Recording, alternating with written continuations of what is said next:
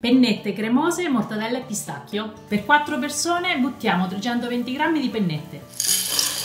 Tagliamo a cubetti una bella fetta di mortadella spessa, circa 150 g.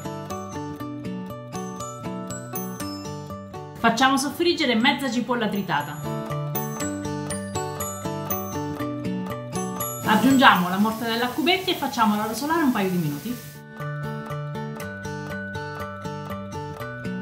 Quando la pasta è quasi cotta aggiungiamo 150 g di formaggio spalmabile con un po' d'acqua di cottura così si forma una bella cremina.